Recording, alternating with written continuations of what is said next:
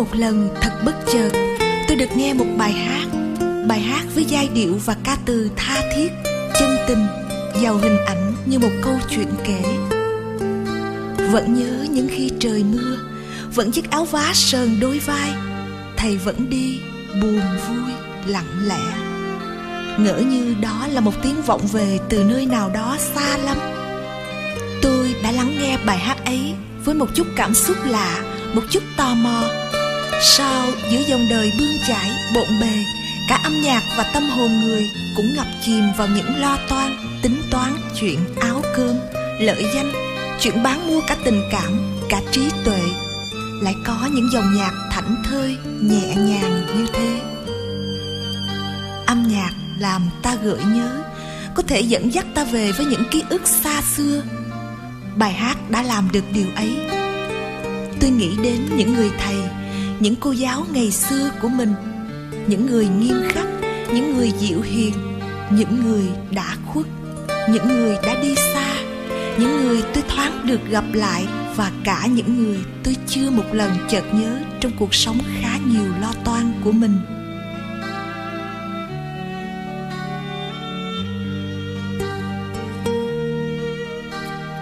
Người thầy trong bài hát của nhạc sĩ nguyễn nhất huy, thật bao dung ông vượt qua bao gian khó nhọc nhằn, luôn nặng lòng với cuộc sống, với những gương mặt học trò đã được bàn tay ông nâng niu dìu dắt.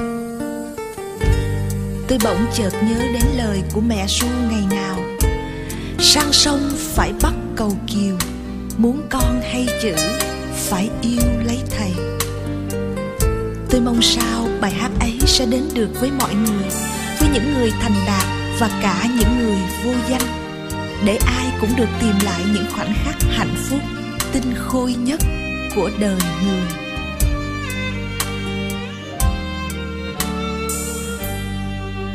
Người thầy vẫn lặng lẽ đi về sớm trưa.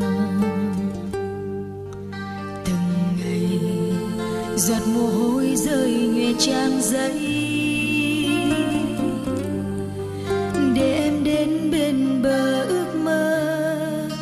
rồi năm tháng sông dài gió mưa, cành hoa trắng vẫn lung linh trong vườn xưa.